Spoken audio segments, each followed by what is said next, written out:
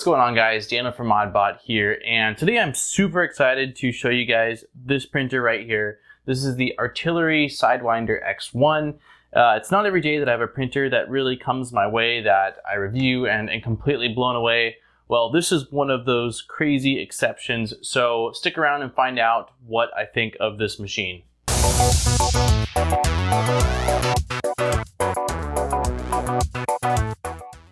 So for those of you that want to just have two seconds and leave the video with a just general thesis of this printer, I love this printer. This printer has surpassed all of my expectations. Um, let's go ahead and do a breakdown kind of of what this machine has to offer and then I'll talk a little bit about how I first heard of this machine and my whole experience with the machine so far.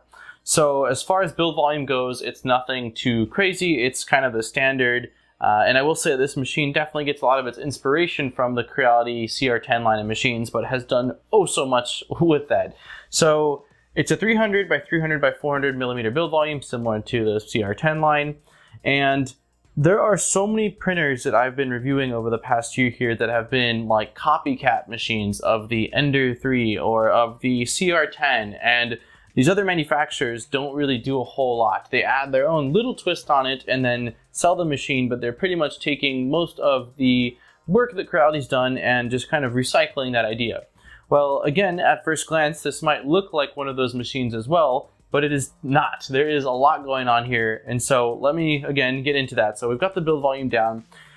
Things that are awesome about this machine that are just different so the build surface on this is like a black diamond glass. It's similar to what's on the JG Aurora A5S. It's similar to what's on the Anycubic i3 Mega. This is and has been one of my favorite build surfaces to ever exist. If it's not like BuildTak or PEI um, on a flex plate system, this black diamond glass to me is the bomb. I love it so much. I think that uh, most materials adhere incredibly well to this and they give a nice bottom finish, but they also pop off relatively easy once the part has cooled. So that is one thing it has.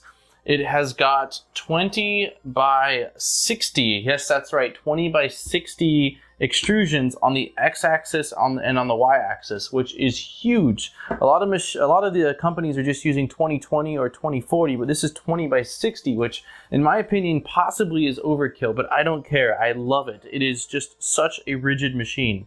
So it's got massive extrusions. It's got, of course, dual Z-axis uh, lead screws with anti-backlash nuts on the back.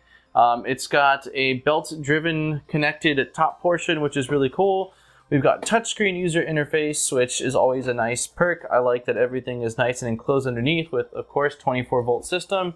It's got a USB slot as well as a micro SD card slot, which again, I don't even think is necessary. One or the other is fine, but I'll take both of them. I'm not upset that they did that.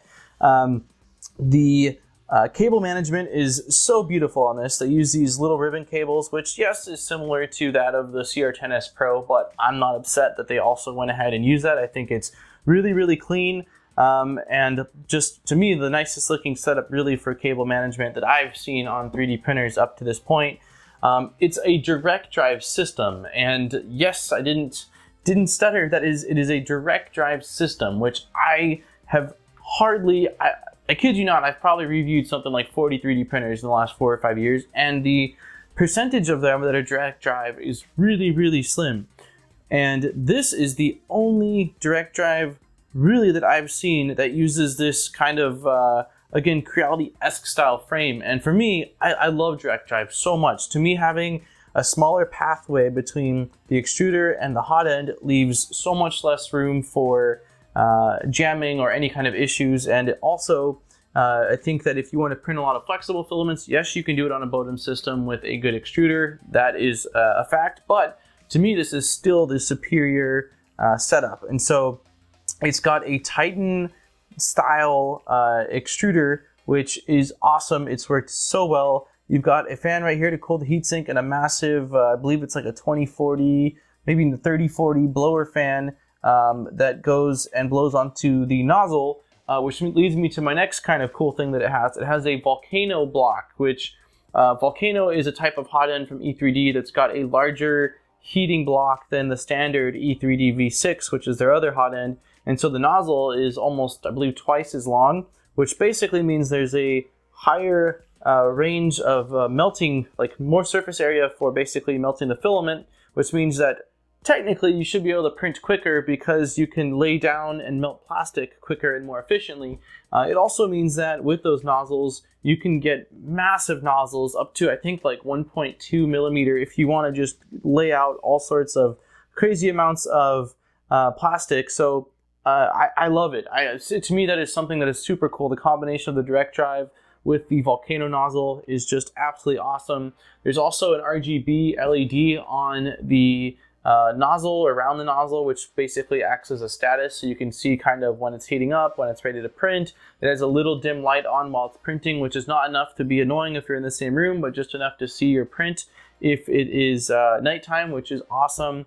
Um, it's got optical end stops, so there's no physical limit switches. They're actually optical, which again is just a small thing, but it's really cool. We've got insulated bed, so it heats up incredibly quick. Filament runout sensor. I mean, there's probably things I'm missing still, but this thing, it's super quiet too. It is incredibly quiet. I mean, the, the list goes on and on. And the price, which is the sweetest point, is $400. And yes, it is more expensive than a Creality Ender 3, no doubt. But to me, this is a lot more machine than a Creality Ender 3. And do I think that, you know, this needs to replace all the Ender 3s out there? Absolutely not. But if you need something that's bigger, that's got direct drive. If you're looking to upgrade, this machine is just absolutely insane. I have been blown away by this machine. So let's backpedal a little bit now that you've heard all that and kind of talk a bit about this. So the company is Artillery, which I had never heard of before. I don't think anybody has. Um, they were new, at least relatively new, I feel, to 3D printing. And I started seeing this machine popping up in my Twitter feed. Uh, a lot of people in the community started posting their photos of this. I know that Tom Jackson got one and did some amazing, just incredible prints with this machine. Um, there's uh, Make It with Calvin got one, and he was doing some crazy stuff. So I started seeing all of these different prints coming off of this that were just incredible. And seeing the direct drive and seeing the volcano, it didn't take me long to know that like, yes, this is a machine that I really, really want to get my hands on. And again, I review a ton of printers and I'm excited for a lot of them, but a lot of them I'm just kind of like, okay, we'll see. But this one I was hyped on. I actually reached out to Artillery a couple of times before I heard back and they agreed to send me one. So and that is not common. I, I, don't typically like go aggressively after a printer, but this one I saw it and was like, no, I need to test it. I need to see if it's as awesome as everyone seems to think it is, and give my feedback on this machine. So, machine showed up right before I was moving apartments. Uh, it probably showed up five days before I was supposed to move, and I told myself, no building of things until you're settled in a new place because then I'm just going to have to disassemble or, or, figure out how to move it. And um, of course, I got home the same day and I assembled it and uh, leveled it. It's not automatic bed leveling, which I really don't care about. I honestly like manual leveling a lot. Um, it leaves less room for potential software issues, and I know that if I level it, it's going to work. And I've only had to level this guy once, I think, in the whole time I've had it, and I've got a ton of hours under this uh, machine. But it's just got the four, uh, four bed leveling screws, so I went ahead and leveled it, and I went ahead and printed out a tiny little just test cube, which of course turned out perfect.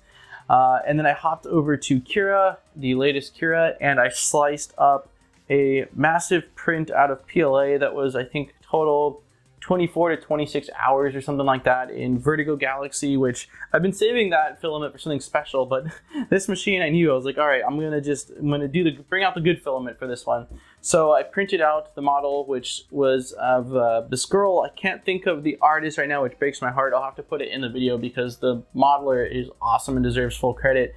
Um, but I went went ahead and printed that out, which it turned out awesome. The machine did a phenomenal job, but I forgot to put supports, and so instead of having long hair, she has kind of like a shortcut. So uh, she still looks fantastic. The model turned out great, um, but I printed that out, followed by this awesome print, which do I have it right here somewhere? I don't. Um, this crazy white, like demon-esque thing that I found uh, in PLA. There was also another, I think, 25, 26 hour print uh, roughly as well. Uh, I followed it up with a couple other PLA prints, and seriously, everything I threw at this, it just printed beautifully. I also created this um, AC vent system for my window in PLA uh, as well as ASA, which um, it's going to be a completely separate video, but those prints were 26 hours a piece because I did one and my tolerances were off, so I had to print another one. I, I've probably got about 150 hours of print time on this printer, and it has just done incredible. I also did a really large PETG print, which I do think that if you're going to do a lot of PETG or PTG, you should upgrade because it is not an all metal hot end. Um, so you will want to upgrade that, but I was able to do roughly a 10 hour PTG print, which turned out awesome.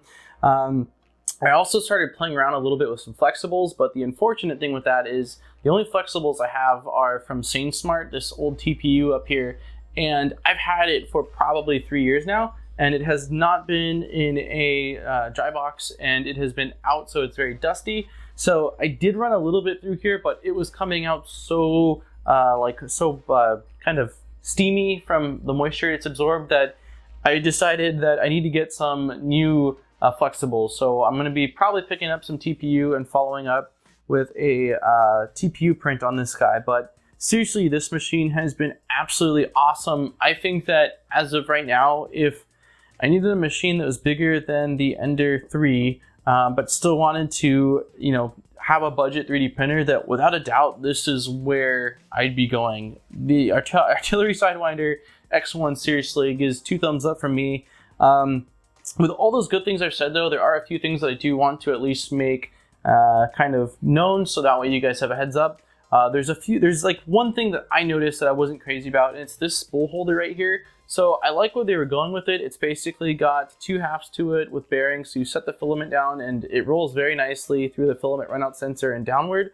The issue is, is that to move them side by side, there's two little uh, Allen screws, and they're on the back of the printer, which is just super inconvenient to get to. Um, so what I ended up doing was basically having a filament spool holder on the side of this that I then fed over into that and downward, or I bypassed the filament runout sensor altogether.